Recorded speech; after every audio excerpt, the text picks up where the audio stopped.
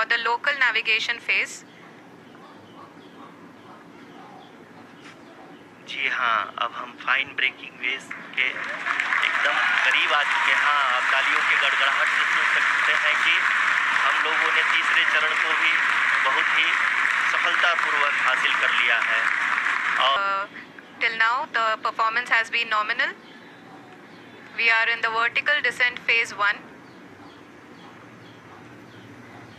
The altitude is being brought down from 800 meters and we are nearing and approaching the lunar surface. इस इस इस phase के दौरान लगभग एक सौ पचास मीटर के ऊंचाई Currently, only two engines are now being fired, and uh, we are nearly at zero velocity, vertical and horizontal. We are we were hovering, and now we are approaching the moon's surface.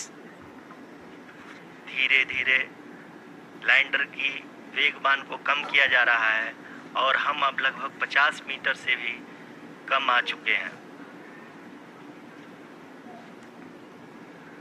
We can see the Honorable Prime Minister, Shri Narendra Modi ji, who is here to encourage us, and he is critically looking at the visuals.